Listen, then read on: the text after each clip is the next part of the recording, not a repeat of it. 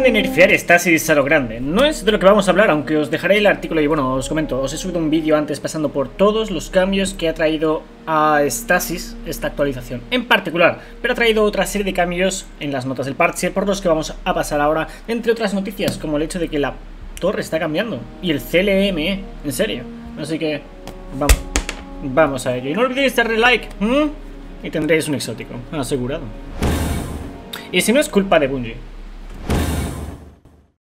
El patrocinador del canal Blazing Boost, como veis, ya ha actualizado sus páginas web respecto a Destiny y sus servicios y ahora ofrecen servicios para cualquier cosa respecto a esta nueva temporada del simbionte, cámara de cristal y lo que estés buscando, incluyendo exóticos, pruebas o series, tú lo has dicho. Esto está enfocado a aquellos que no tienen tiempo para conseguir estas cosas, pero que quieren usarlas en sus actividades favoritas, así que si es algo que os interesa, este con más de 14.000 reviews positivas, bueno, de hecho casi casi, es el que más os recomiendo y de hecho os dejaré links abajo en la descripción con algún que otro descuento. Comenzando con las noticias, hay un aviso dentro del juego mm, que avisa de que Destiny 2 puede contener luces e imágenes intermitentes que podrían provocar efectos adversos en un pequeño porcentaje de personas sensibles a las mismas. Ahora, esto quizás lo han añadido porque las misiones supresión y las actividades de anulación pueden causar este tipo de efectos a la gente que es propensa a tener este tipo de Ahora no me viene la palabra, vale, pero ya me entendéis. Vale, puede que se deba a eso o puede que se deba a algo que está a punto de ocurrir para que estén avisados, porque este aviso no lo habían puesto antes y es como raro que no lo hayan puesto antes. Así que es algo a notar, sobre todo teniendo en cuenta lo que está ocurriendo en la torre y el CLM, o sea, cosas realmente extrañas e inesperadas, ahora veréis. Vale, ahora mismo estamos en el CLM y lo que quiero que, que hagáis es que os fijéis en este tipo de cosas, que de hecho acaba de cambiar de color y no lo había notado. El hecho de que cambian de color a rojo, al menos Quizás si te acercas o la verdad que no sé por qué lo ha hecho. El caso es que están apareciendo montones de estos hologramas, no solamente aquí en el CLM, ¿eh? sino también en la torre. Ahora veréis que en la torre de hecho es muchísimo más notable, pero quería mostrar esto para que veáis que aquí también está ocurriendo. Así que parece que algo se está formando dentro de la simulación en la que estamos metidos. Y es posible que, bueno, de hecho está involucrando las zonas sociales y es muy posible que avance durante las próximas semanas. En anteriores ocasiones, como por ejemplo en temporada La Imperecedero, Ikora estaba construyendo un portal y semana tras semana veíamos cómo iba avanzando con el proyecto, cómo iba construyéndolo y cambiando. Ahora como veis están sucediendo estas cosas, tanto en el CLM como en la torre, ahora veréis en la torre es mucho más notable. Y también, de hecho, el tema de las luces que se apagan, me parece que también va variando. O sea, en las semanas anteriores no ocurría tan, ¿veis? Tan a menudo y no duraba tanto este apagón. O sea, en depende de qué momentos. Así que ir prestando atención a estas cosas.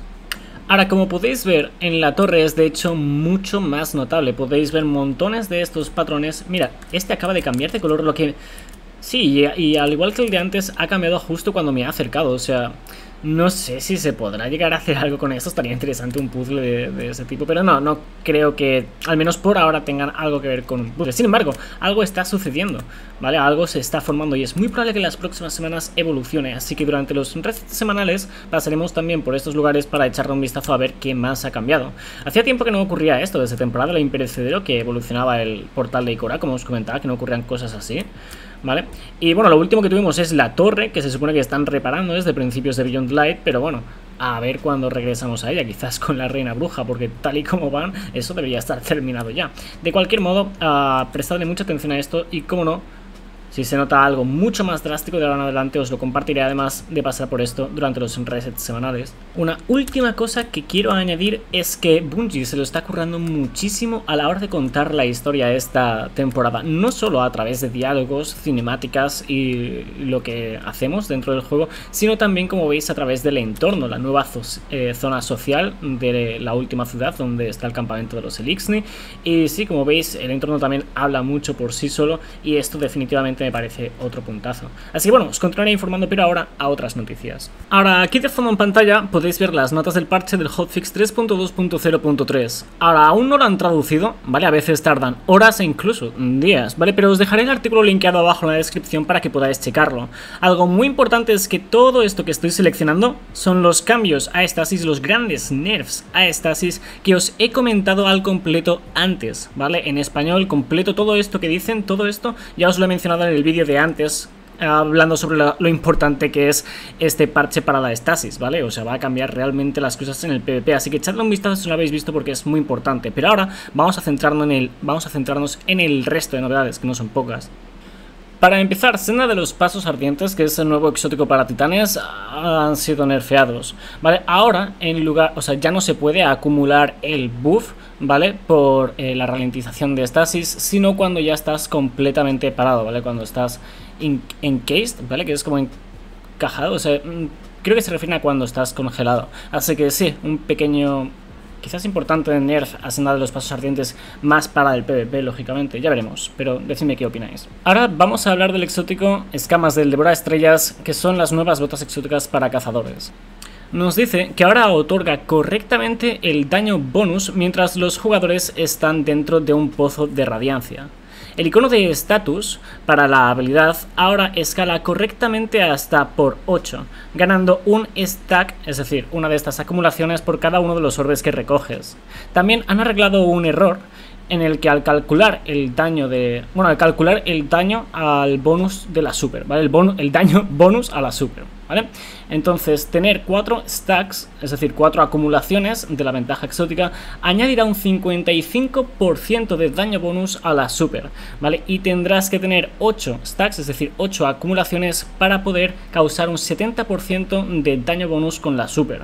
Es decir, Sí, está. Eh, sí, dicen que para más contexto es la fórmula original, ¿vale? Que tenían al iniciar la temporada, ¿vale? Que era un 60% de. De daño bonus al tener 4 stacks, ¿vale? Más o menos lo han equilibrado un poco ahí. En cuanto a armas, dicen que han arreglado un error en el que Aparentemente la geometría de Rojido del Dragón, que es el ornamento para Susurro del Gusano, desaparecía en ciertas áreas.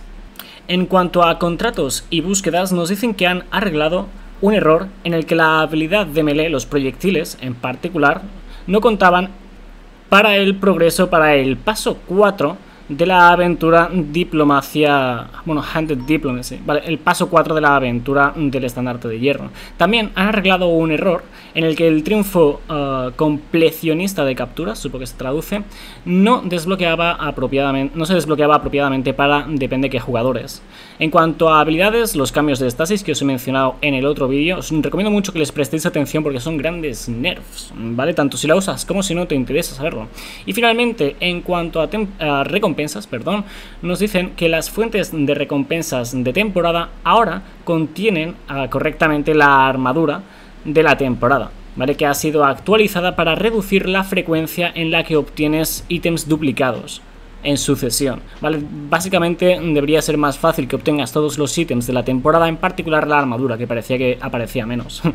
en cuanto a la ametralladora y escopeta del estandarte de hierro, las nuevas ametralladora y escopeta del estandarte de hierro con esos símbolos caídos, ahora te pueden aparecer en engramas del estandarte de hierro al entregar contratos y también al terminar partidas.